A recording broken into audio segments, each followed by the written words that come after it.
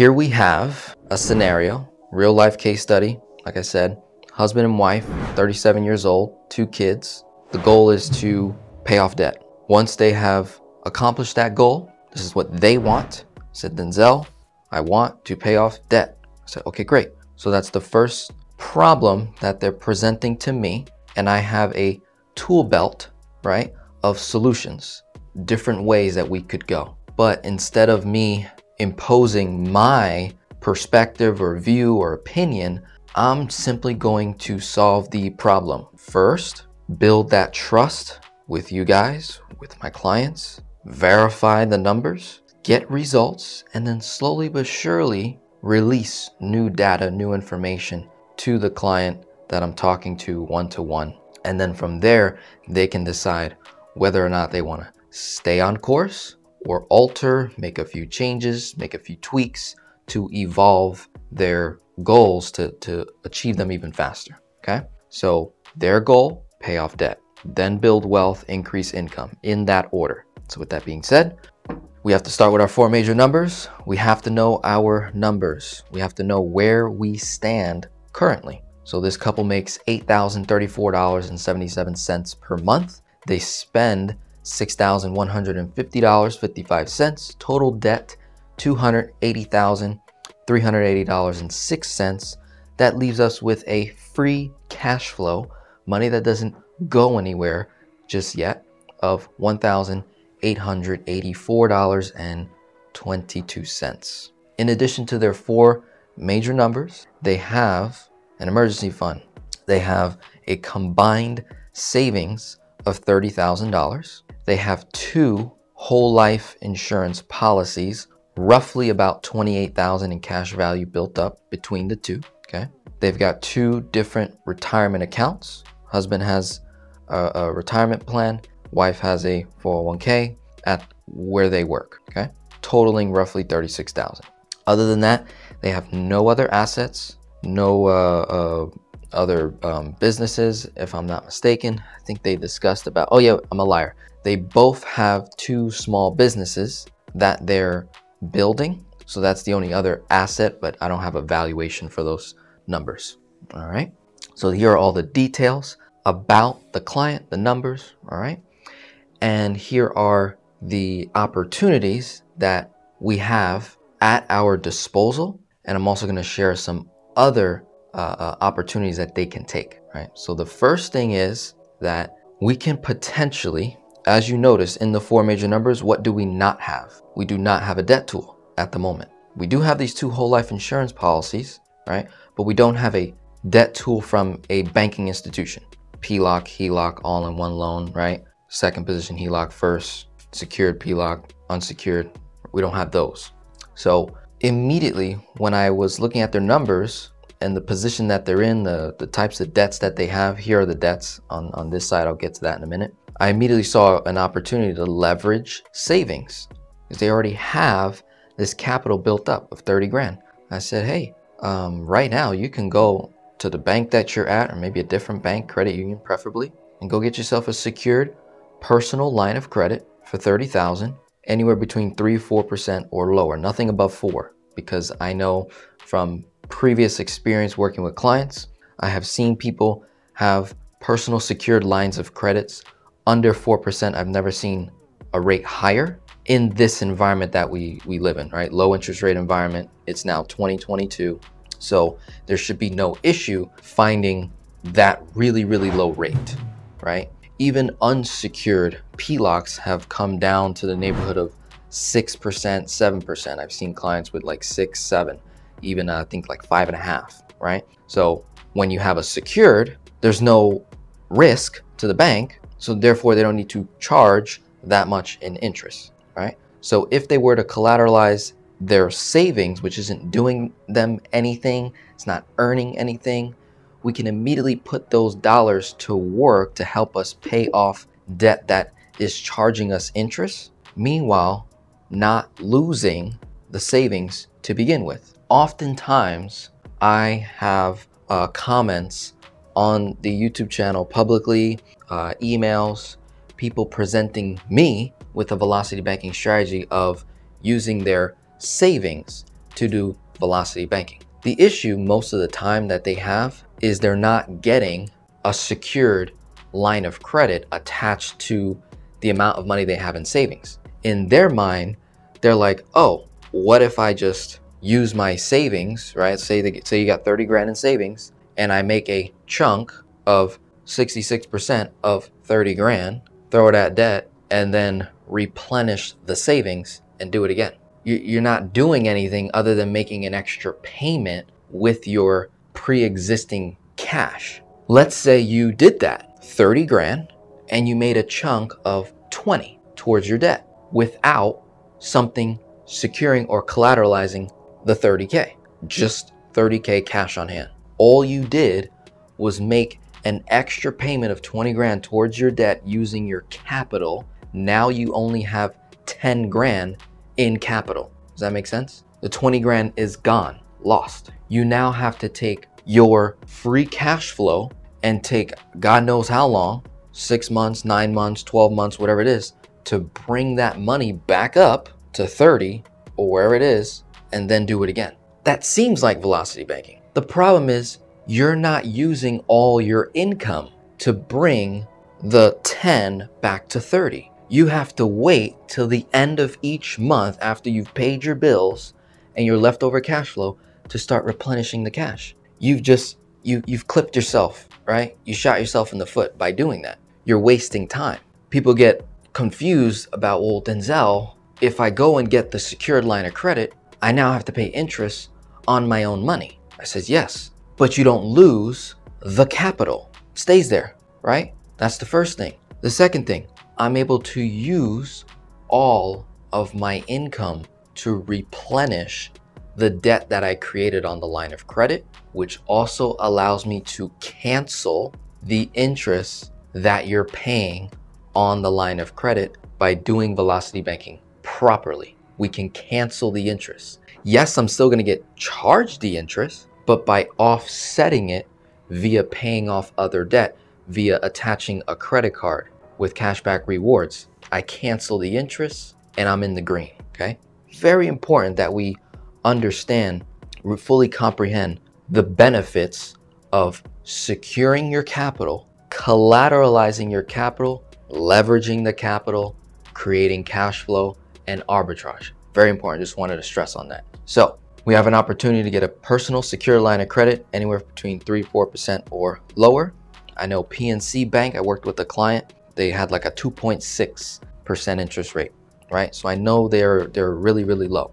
In addition, they have been using a credit card to run bills, right? Roughly 2 3% cashback rewards. On the low end, $2,500 out of the expenses they can run through a credit card.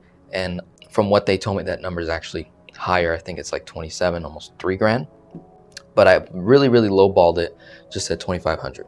We also have cash value loans that we can do. Now they're in the process of obtaining the information to, to, to figure out what the loan interest rate is with these policies.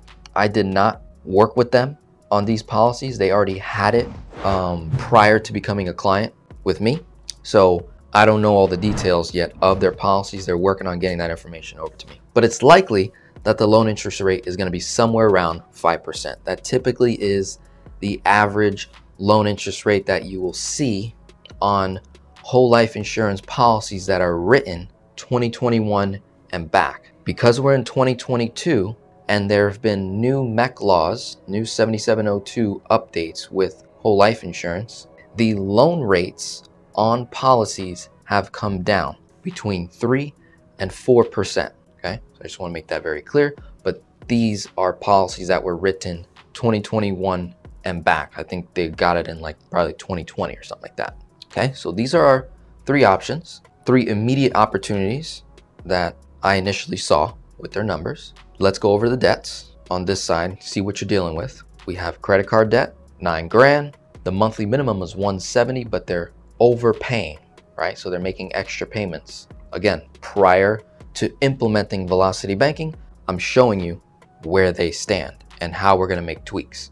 They got two student loans, right? 29K, 58K, monthly payment, 4.69, 5%, 257, mortgage, primary mortgage, 138, uh, 3.75%. Here's the monthly minimum payment, 1293.41, but they're paying an extra 80 bucks on top of that. And then they have a second lien mortgage, 38k. They're paying an extra $2.87 on top of their monthly minimum of 322, 5.99 is the interest rate.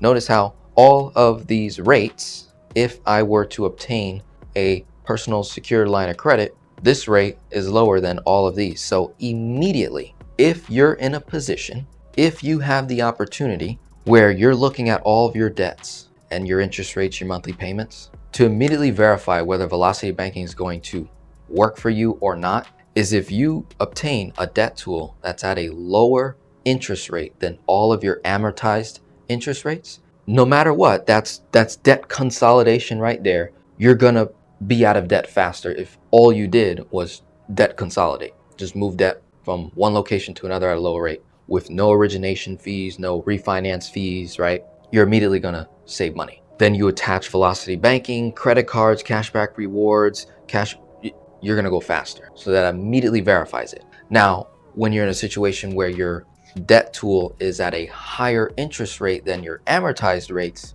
you're still in the green most of the time, but only for a period of time, right? So if I have a 5% HELOC and a 3.5% mortgage, depending on what my timeline is on the mortgage, if I'm in my last five years of the mortgage, my last 10 years of the mortgage, there's barely any interest left to save. So therefore, moving 3.5 to 5 would probably not make sense unless you were obtaining the HELOC to acquire another property, right? And to create arbitrage, create cash flow, different story.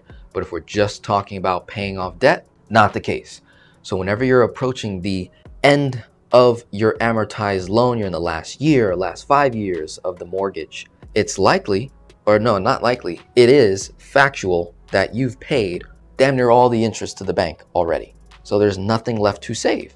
Therefore, it may not even make sense trying to pay it off early because you've already been wiped clean, right? They've already got their profit. You've already paid them tons and tons of money. You might as well leave that debt alone and probably focus on increasing your income and then writing a check one day within the same period of time that it would take you to pay off all the debt right? You can evaluate it that way. So I just want to be very, very clear on and, and showing you that. So now let's take a look at the other opportunities that are on the table. They've got the mortgage and they owe 138. They recently refinanced over a year ago. So they're at 29, 28 years left. They're at the top of the mortgage, right? They're at the top of it. They have quite a bit of equity in there. So they could obtain a HELOC either in the first or second position. They could also look at the all in one loan. It's an option. All right. And they're both pretty much the same thing. There's a difference in costs between the two. That's the primary difference between a first lien HELOC, second lien HELOC, and an all in one loan. Cost. So when you're sitting with the banks, it's important to evaluate what that cost is, what are these requirements. All in one loan is a little more a little more difficult, harder to obtain. More loopholes, more requirements, more paperwork you have to do versus a second lien HELOC, maybe a first lien HELOC. It may be a little cheaper um, and maybe you might have less uh, flexibility. If you're in the state of Texas, right, you might have uh, more regulations on your HELOC. It's important to know that. So then when you look at an all-in-one loan, right, or product outside of your state, that can sometimes be worth paying a little extra for a better tool, right? Even though you pay a little extra, we can still do equal or better damage. Okay, so I just want to lay that out. Now, in terms of speed and efficiency, if they want to get this going within the next week or two, the fastest debt tool to obtain in regards to credit cards, PLOCs, HELOCs, all in one loan, the fastest tools to obtain are credit cards and personal line of credit. Usually a credit card you get approved like within 48 hours. Personal line of credit can get approved within a week, two weeks. HELOCs typically month, all in one loan, month, two months. So it might take longer. So it doesn't hurt. I was telling them, I say, hey, whichever route you go, it doesn't hurt to just get that, the secure PLOC. Nothing happens to your cash. Your money is secured. If you use it, you leverage it. And then you pay nothing in interest because we're going to offset it. If we're not using it, we're not paying any interest, right? Now, if I'm not mistaken, I do believe there's opportunities with certain uh, banking institutions, probably credit unions, where you can actually earn maybe like a half a percent, 1% in a like CD of some sort and have a line of credit attached to it to help offset whatever the bank is charging you. I do believe that exists. I've never owned something like that before, but I do believe it exists and it could work very well. All right. So now what I'm going to do now is illustrate what it would look like starting off with a $30,000 secured line of credit for about, call it 3%. I'm very confident we can get 3%, right? Now, you know what? Let me just do four, max 4%. And you can see how the rates here, every rate is higher than four, except what this number right here. But we're not even going to approach this number at the moment, right? Why is that? Well, in the debt snowball world, you start with smallest to highest debt, regardless of interest rate, regardless of monthly payment. In the debt avalanche world, you start with highest interest rate, right? And it's all about interest savings. In the velocity banking world, it's all about cash flow, cash flow, cash flow, cash flow, cash flow. In the velocity banking world, we're determining how quickly can I get to the cash flow, right? So it's cash flow first, interest savings second, balance third. But we're looking at it, you know, as one. Those are the three numbers as one. But our focus is cash flow. The, the more cash flow I have, the faster I will go with anything, whether it's investing in a business, investing in opportunity, stocks,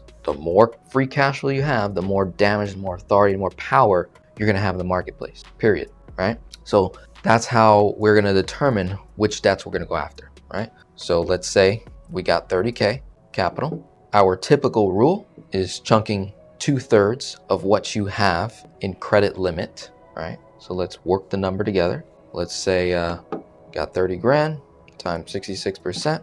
Our chunk amount should be around $19,800 to start off. I then look at the person's cash flow, 1884.22 times it by 12 is $22,610 and 64 cents. We just figured out our chunk range, anywhere from 19.8 to 22,610.64 is our chunk range. When you make a chunk, ideally, we want a cash flow gain from that. So if I were to chunk 22,000 just by looking at cash flow alone, it would take me 12 months to restore the line of credit back to zero. But with an increased cash flow from making the chunk, you go from 12 months, anywhere from six to nine months, because the cash flow went up and then you also canceled the interest via cashback rewards and whatever debt you paid off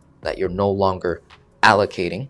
And now all the income is helping you offset the money even faster. All right. So looking at the debts, which ones would you go after? Comment, let me know. What would be the debts that you would go after, right?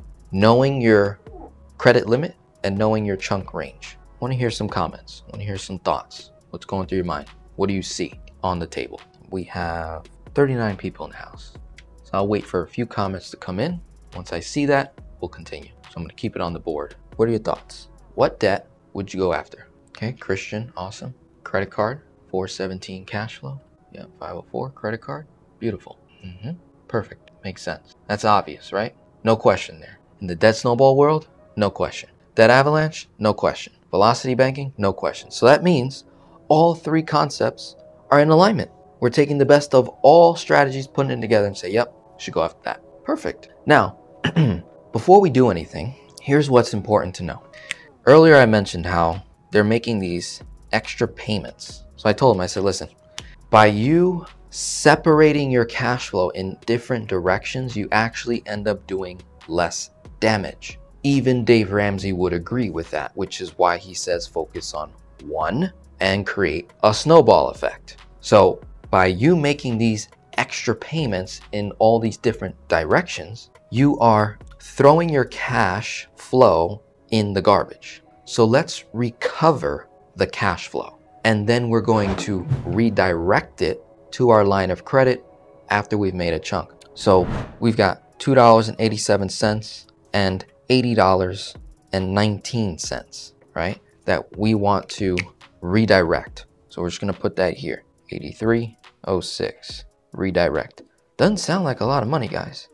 But 83 times 12 is a thousand bucks. A thousand dollars of cash flow sitting in your line of credit, what does that do? Cancels interest, makes you move faster. So I wanted to highlight that before you make any moves. If you're in this situation where you're making extra payments to here and there and here and there and here and there, understand you're sending your cash flow to die slowly. You think you're doing good because you're like, oh yeah, I'm gonna attack all this at once. No, I can go faster by going bomb, bomb, bomb, bomb in order, in mathematical order. Very, very important. All right. So usually when I'm figuring out my chunk, I'll just start with the lower number, the 19,800 and minus it from the debt that I know we're gonna hit, 9,128.18, leaves me with 10 grand, 10,671.82. Uh, so I still have more dollars to, to allocate towards a debt. Now let's just, you know, state the obvious. We don't want to go after the mortgage.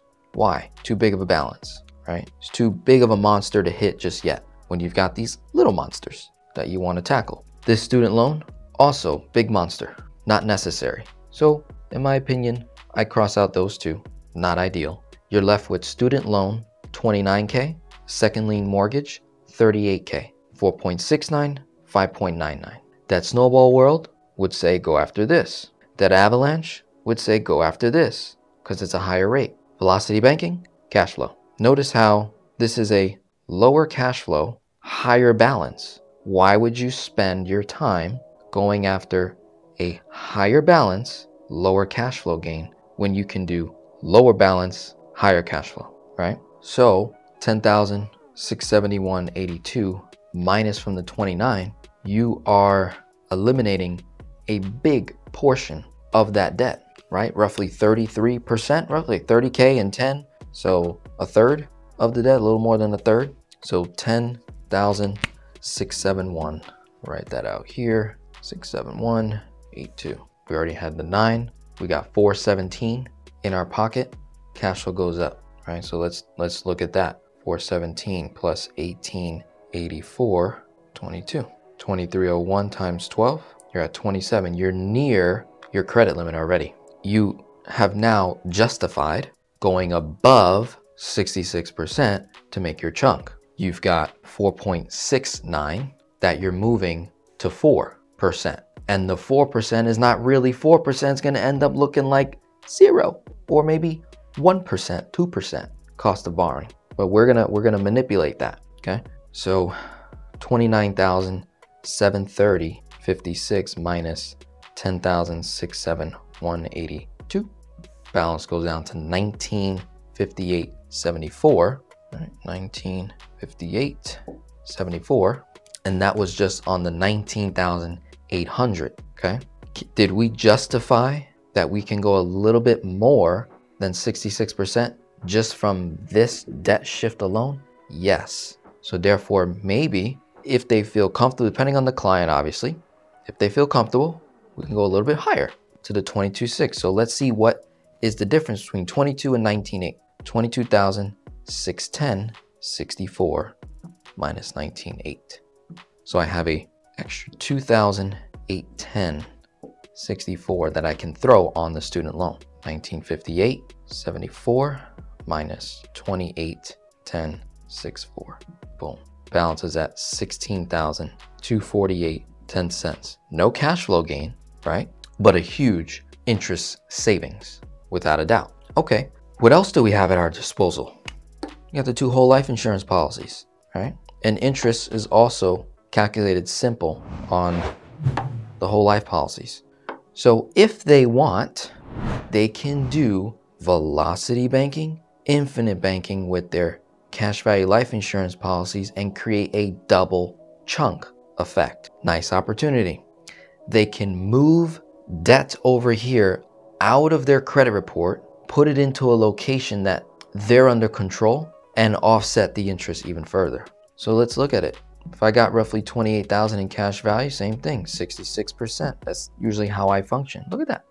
18,480. What's our balance? Only 16. So I don't even need to go the full 66% length. And we also don't want to over leverage ourselves. So maybe we just kill the two debts for right now, move the remaining balance of 16,24810 into the whole life policies. Like I said, that rate is going to be somewhere around 5%, might be lower.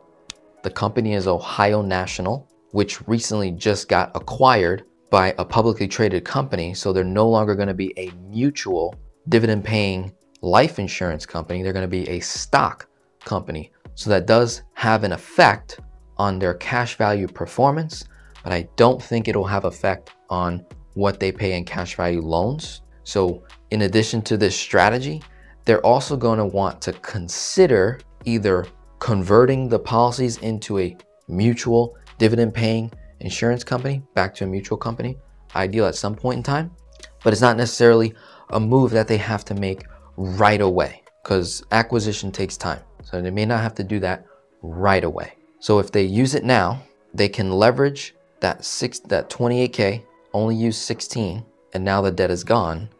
So now we gain what 417 and 372 70 and we removed 10.24 4.69 completely and we pushed it into in our scenario we're to use 4% we moved 10.24 to 4 4.69 to 4 now our move is to make the 4 right? We need to make the 4 0 we need to offset our borrowing costs so with our line of credit we ended up coming to a conclusion together that it would make sense to do the 22, 610, 64. So we're gonna say that's our balance.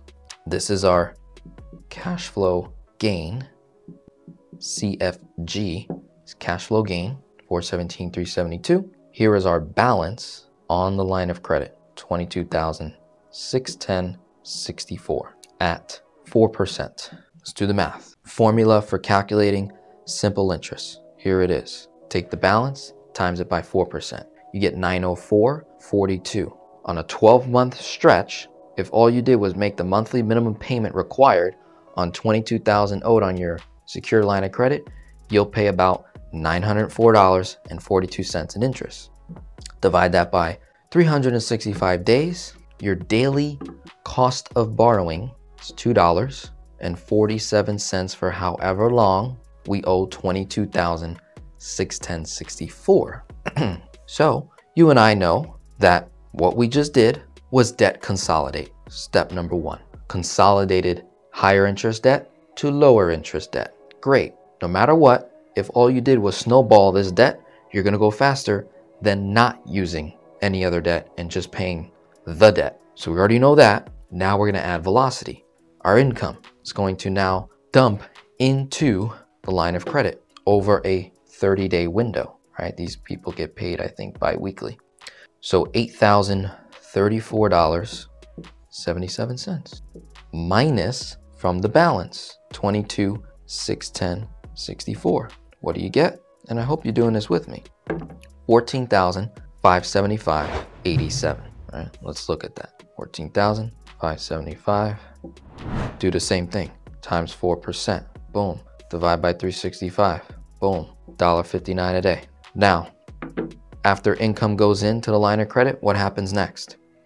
Expenses go out, right? So we know this is the lowest the, the balance will be in the first month on the line of credit. This is the highest. Now we need the midpoint number once expenses go out, right? So let's look at 6,150, 55 minus what? Cash flow gain money that's it's not going out anymore it's going to sit in the line of credit so that's less expenses going out so minus 417 minus 372 70 so 5360 is our expenses per month moving forward after we make our first chunk. Not bad. What does that result in? Take the 14,575, 87 plus 5,360, 85. Balance results 19,936, 72. Same thing, times 4%, divide by 365, $2.18 per day.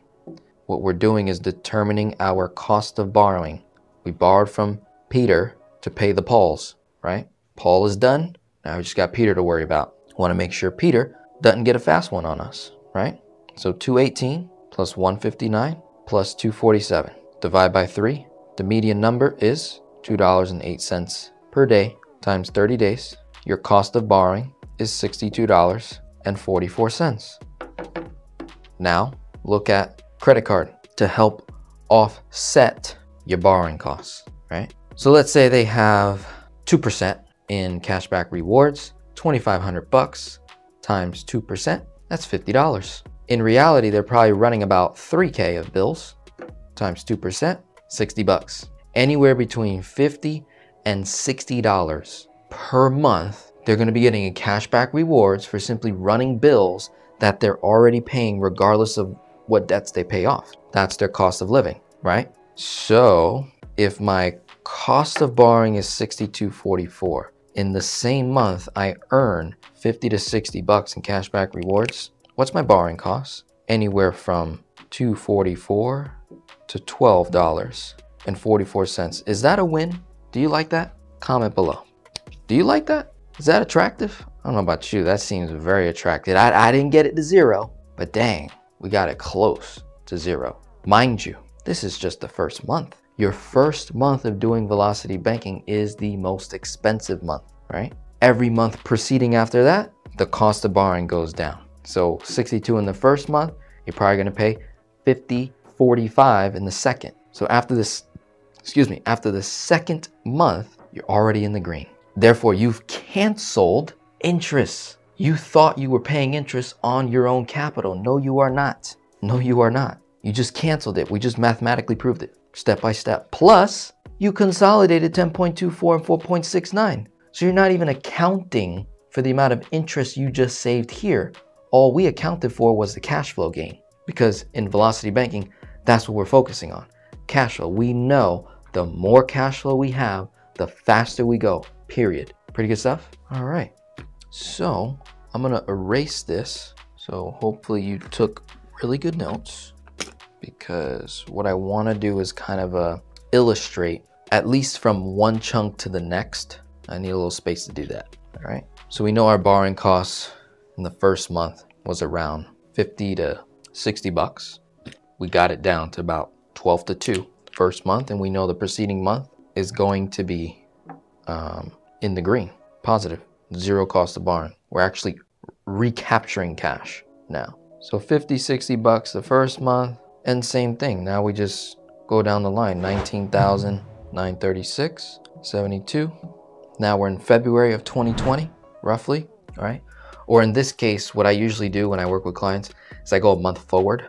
So I'll say, okay, even though we're in January of 2022, I'm gonna illustrate it as if I was in February, starting in February, not accounting for January's cash flow. Just by doing that, I create a little room for error and you can now beat my numbers. And it's gonna make you even more happy when you beat my numbers, right? It's gonna give you more confidence, it's gonna create momentum. That's what we want. So this was end of February. Looking at March, balance is at 19,936.72.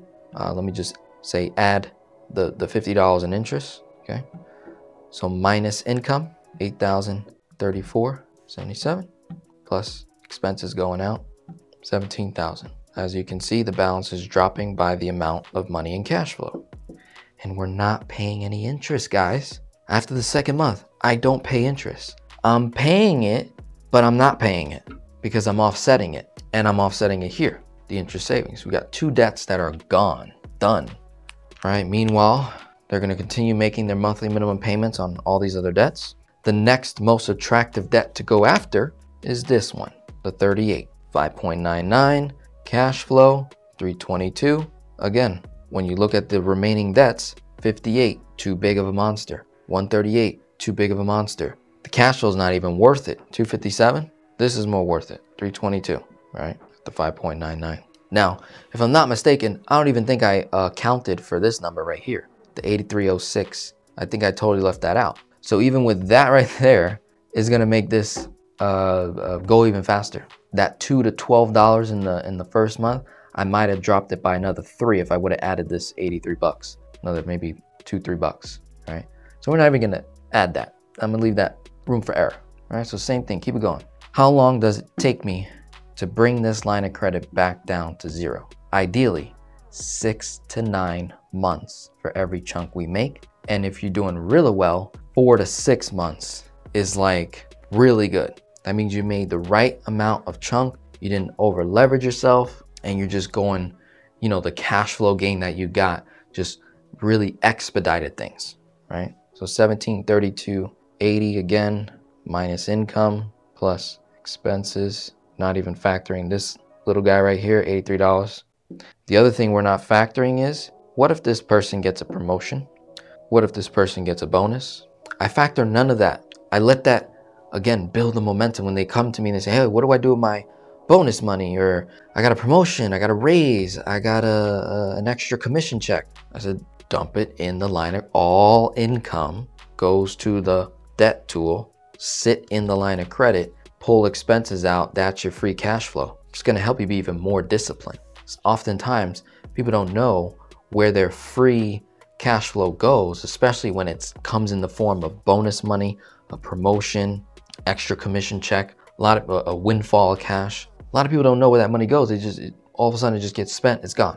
It's like, oh shoot, right? So we don't want that. We want to cal calculate for it. Best way to do that: hold yourself accountable. Dump all your income into the line of credit. Pull it back out. Pay your bills.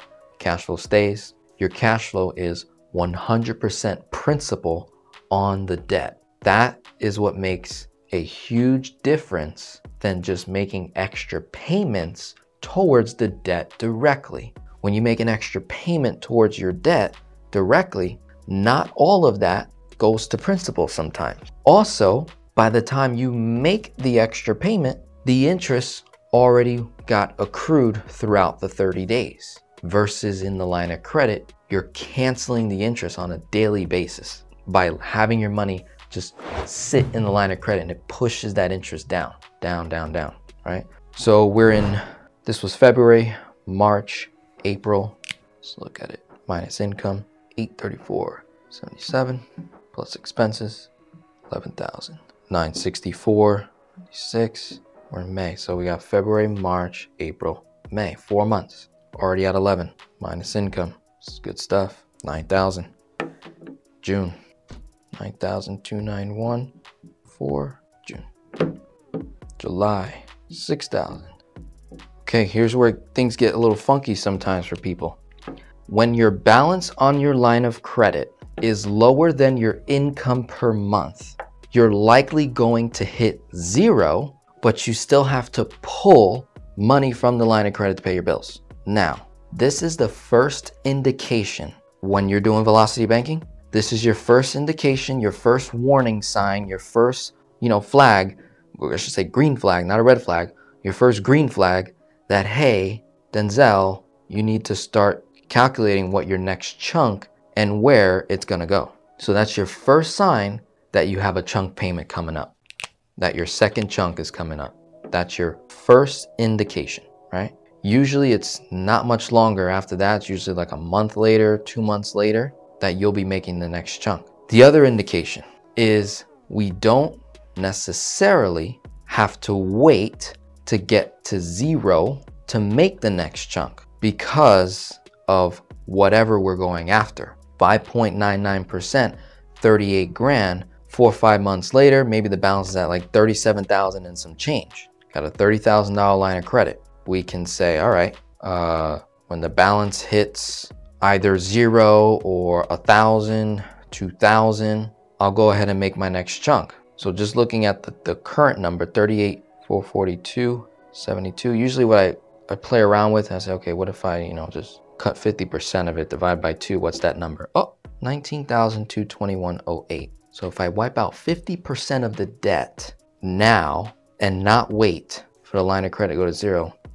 that helps me go faster. And to prove it, 5.99 to 4, that's a savings. And because this is a, um, if I'm not mistaken, I think this was a home equity loan. And typically, this is not with all amortized debt, but like you'll see this with car loans, sometimes home equity loans. When you make a big lump sum payment towards a debt, usually the payment drops. So if I wipe out 50% of the debt, then maybe 50% of the payment also goes with it. That happens with credit cards as well. When you make a, you know, if you had nine grand in debt and you pay four, the 417 might go to like half that. Or I'm sorry, 170 might go to half 170. So it happens with credit cards, happens with loans, car loans, and I think with second lien mortgages or home equity loans on a, on a primary residence. I think so. Don't know for sure. But let's say it did, that's very advantageous because I'm actually getting cash flow and moving it to the line of credit to then redeploy it right back here once it's time to, you know, fully get rid of it. So we can make a healthy assumption that by September, right? That's August, July, August, September, two months after you initially bring the line of credit to zero, it's not really at zero because you have to pay bills, right? We get that part. But we can assume right around September, maybe October, if they really just want to get it to zero, that's that's them. Again, you got to customize velocity banking to what you are comfortable with, what's your capacity, what the leverage you want to be doing, all that good stuff. But we can safely say around September, October, how many months was that? Got month of February, March, April, May, June, July, August, September. Eight months. October, nine months. Six to nine months, right? They could have done it in September. They could do it in August. They could even do it in July if they wanted to, right? If they do it in July, the way I calculate that chunk is by going back to whatever 66% of line of credit is, right? Uh-huh. And I and the new cash flow. What's the new cash flow? Let's let's actually get the true number. 1884 22 plus that 8306 plus the 417 plus the 372 200756 times 12. Uh-oh. Now I'm above my credit limit. So the question then becomes, Denzel, can I chunk the whole thing? Yes, you can. Ideally, no. I would not, personally. So you can either stick with the original number you had from chunk number one, which is healthy. So you could say, okay, 22,610.64 was my first chunk. And then you can either minus it from what you owe on your line of credit, minus 6,617.17. And you can say, okay, um, my next chunk is gonna be 16,000 bucks, right? You can say that. Or you can do what I did earlier and just take whatever the balance is on the debt that you want to tackle, divide it by two, and see where it falls in your chunk range. And we saw earlier, so let me write that. You can either do a 15,993.47. That chunk would occur in July if you consider that number. If you wait, the number increases by the amount of cash flow, right? From the preceding month, we went from six to nine. So in uh, August, it'll be like around three, right? And then you're back at 18, almost 19K. So anywhere between July, September, October, that's, we already locked that in. 38,442, we already know that number is gonna be lower, right? You're paying 322 each month, right? So it'll be around 37 and some change, but I'm using the higher number just on purpose. Create that buffer. Here's your next chunk amount. This is safe, effective, again, not over leveraging. Anywhere between roughly 16 to 19K wipes out roughly 50% of the debt. Possibly the payment drops. You reroute 5.99 to 4. 4 becomes nothing, zero, right? We cancel the interest. It's a win-win. You get a little extra cash flow, probably 120 or so, 150 comes back to you. And then we can say that if we chunked in, say, August, that leaves us the month of August, September, October, November, December. Five months, I can bet you that by December of 2022, we could pay the remaining balance off because that chunk is going to be less than the first chunk. Because if I wipe out 50, now I got 50% of the debt left over here. I have more cash flow now, so I'm gonna go faster and I can make a, I have plenty of space in my line of credit to fully get rid of that and push it into 0%. It's, you know, going off four, but it's actually gonna be zero in terms of what we end up actually paying because we're manipulating the rate. So I can make a healthy assumption. This couple can eliminate three debts, 38,000 217 plus 29,730 56 plus 912 8.18 $77,300 and we're not including the monthly minimum payments that they're making on the remaining debts. So that number is also going to be a little higher. So roughly, they would have dedicated almost a hundred grand towards debt in a 12 month time frame. They're now positioned, once they've gotten rid of those three debts, only thing they have left is a student loan, very low payment, low interest, mortgage, very low payment, very low interest. From there, I would now have a discussion with the client and I would say, hey, um, is it wise for us to continue to pay off debt or should we look at allocating cash flow to each of your businesses, husband business, wife business, increase income?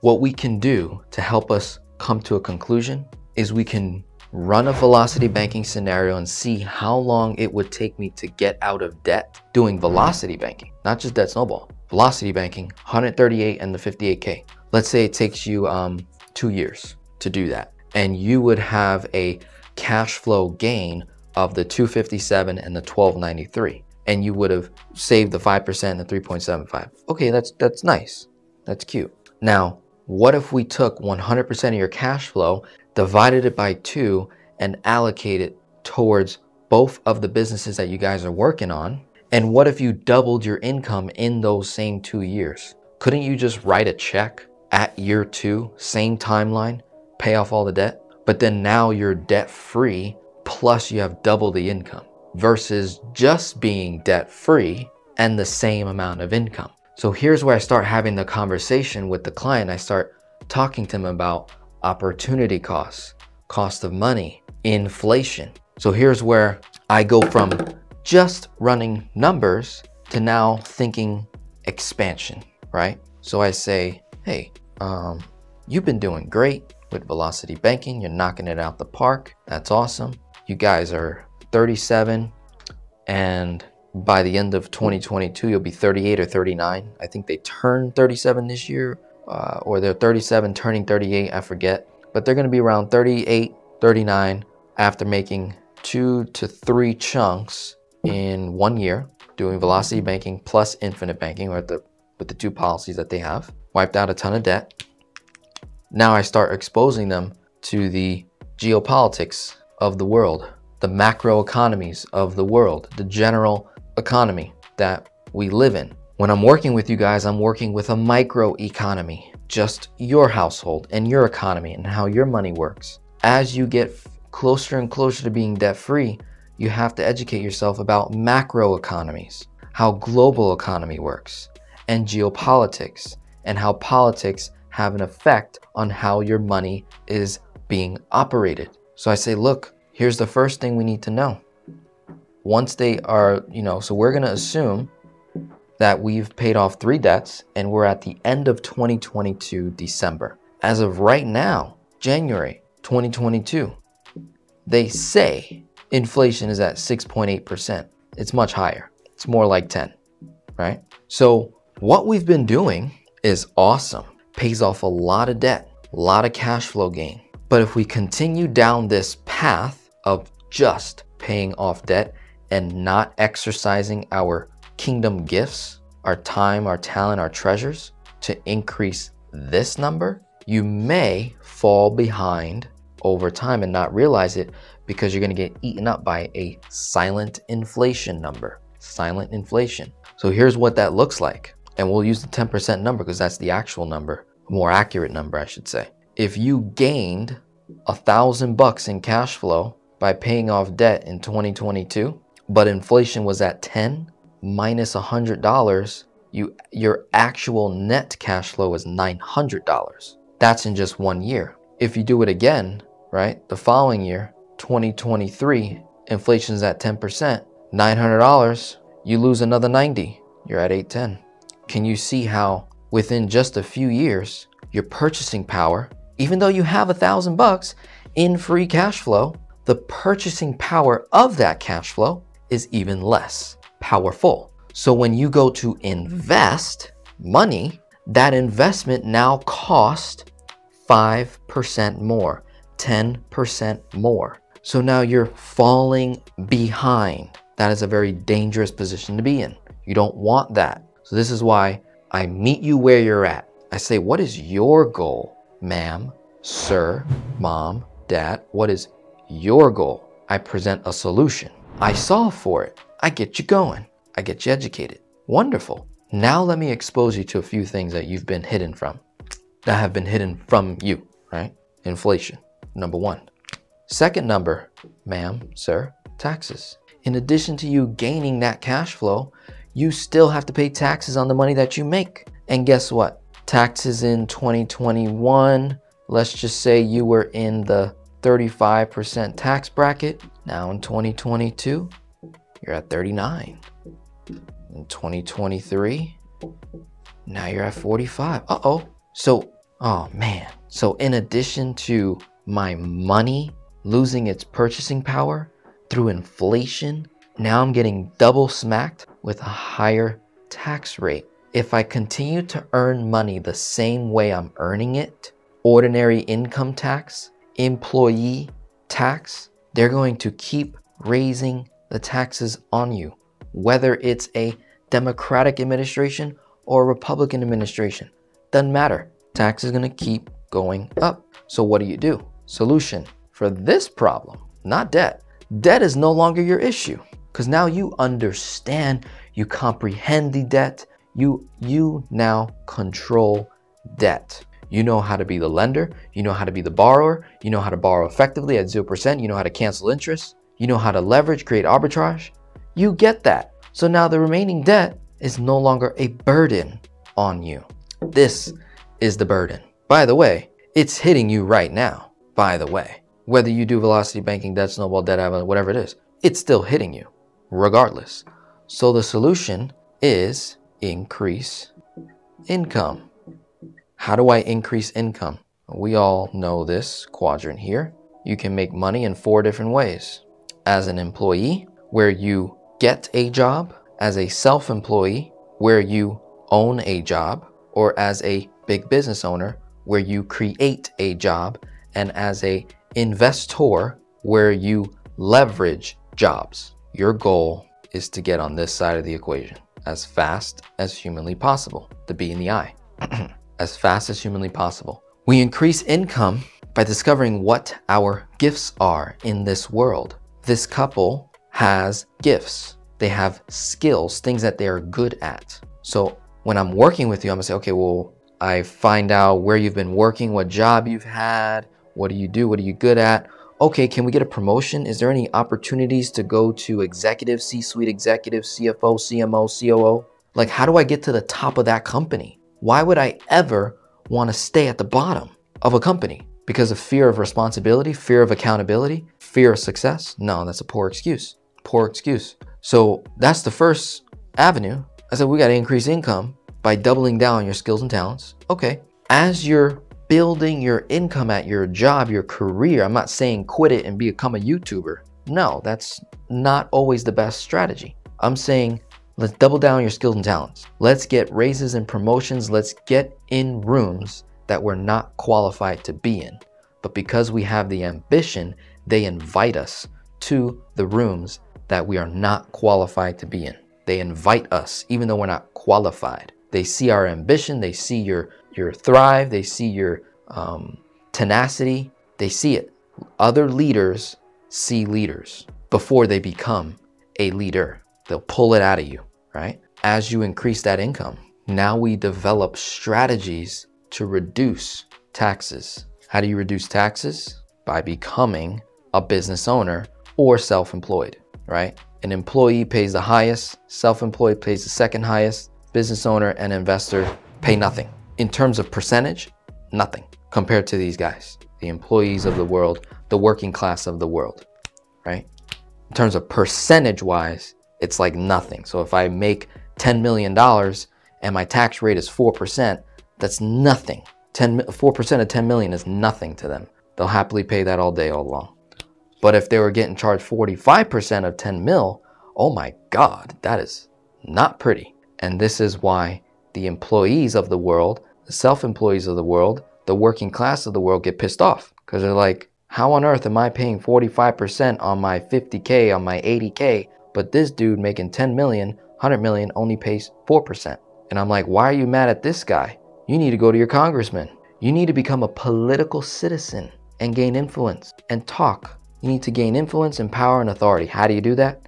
You got to increase your income in the world, not of it. Increase your income. Become a business owner. Reduce your tax liability. That's how you stay ahead of inflation. Develop partnerships, network connections, reduce your costs, right? Get into opportunities that generate residual passive income in different forms of income. So instead of earning income, now it's royalty income, capital gains income.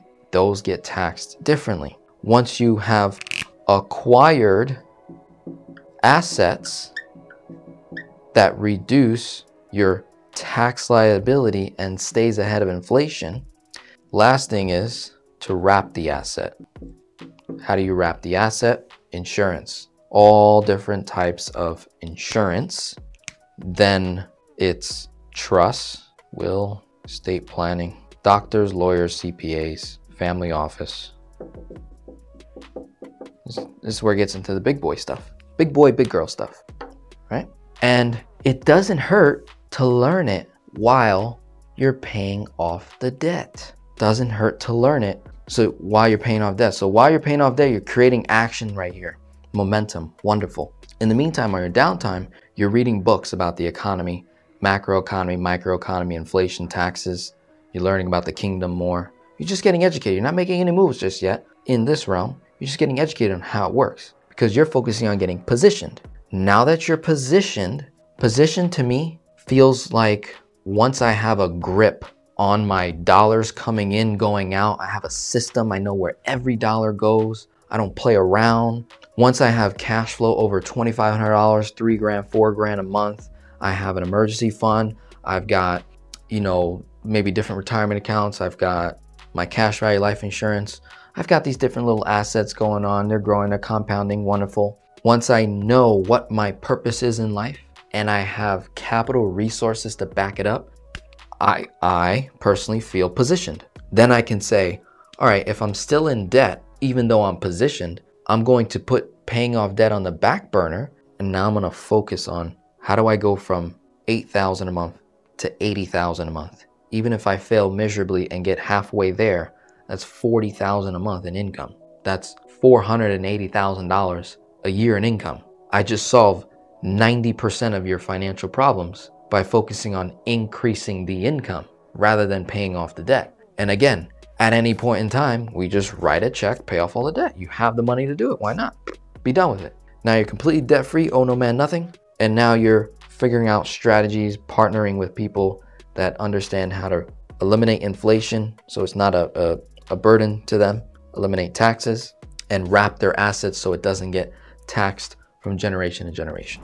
Okay, so that is what I wanted to touch on in terms of what comes after we pay off debt or pay down debt or get ourselves positioned to do bigger things, right?